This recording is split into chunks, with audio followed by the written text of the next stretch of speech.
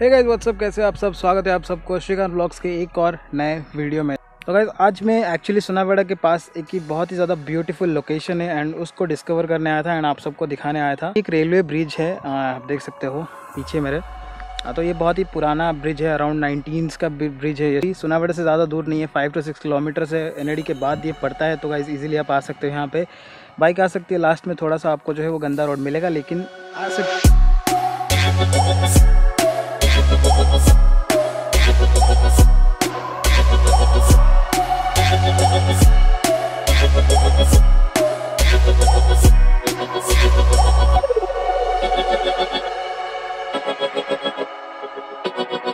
Okay guys तो आपने देखा ये बहुत ही अमेजिंग सा लोकेशन है हैंग आउट करने के लिए यू you नो know, आ सकते हो मस्त दोस्तों के साथ। व्यू मतलब कमाल की है पूरा जो नदी है वो पूरा आप देख सकते हो। जो लास्ट वीडियो में हम कैचला गए थे, वो इसी रिवर के ही एक बैंक है, एक रिजर्वेयर है, इसी रिवर का।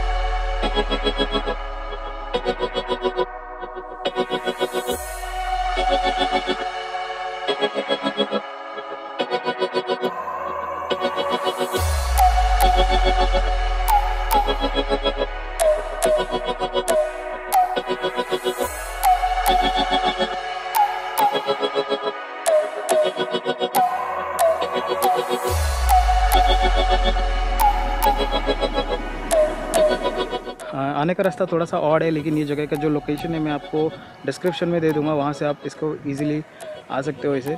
एंड चलो गाइस अभी वहाँ चलते हैं वीडियो को एंड करते हैं।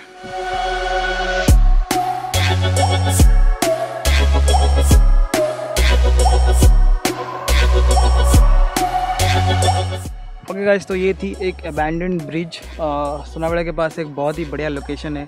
अगर आप आना चाहो तो यहाँ पे आ सकते हो, लेकिन बाइक ही आएगी कार अगर होगा तो आपको बहुत ही मतलब रोड पे रखना पड़ेगा।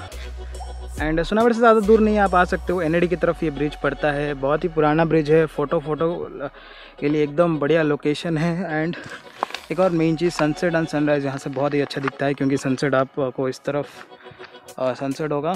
सनराइज़ ये एरिया से कहीं से कहीं से होगा। एंड ये थी पीछे मेरे ब्रिज चलते हैं तो ये थी आज की स्वीट सिंपल सा, छोटा सा व्लॉग जब जब हम नए जगह जाते हैं तो मैं आपके लिए कोई ना कोई वीडियो बना लेता हूँ। एंड गाइज़ इसी बात पे आप, इस वीडियो के लिए एक लाइक तो बनता है। एंड अगर चैनल में नए हो प्लीज़ यार प्लीज़ सब्सक्राइब कर लेना। एंड अपने दोस्तों के साथ ज़रूर शेयर कर लेना।